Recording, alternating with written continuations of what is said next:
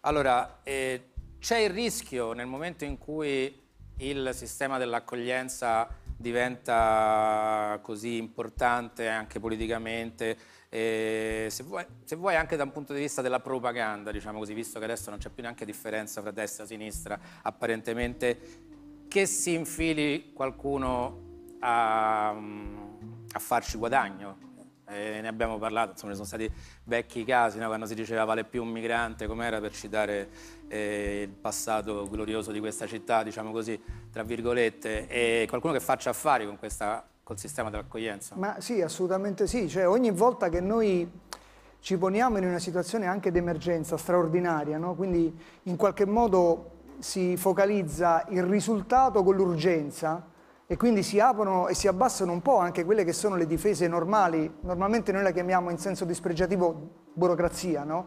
ma la burocrazia è anche in un certo senso in qualche caso, quando non è quella cattiva burocrazia, è il modo per tentare di limitare eh, questi aspetti qua. È ovvio che nel momento in cui c'è una situazione emergenziale straordinaria, quindi comunque flussi di denaro, perché i flussi di denaro ci sono, comunque c'è la necessità del risultato, cioè queste 67.000 persone come numero sono più o meno i migranti che noi abbiamo accolto come paese in un anno sono arrivati, l'anno scorso sono arrivati nell'arco di un mese, quindi è qua la straordinarietà della situazione.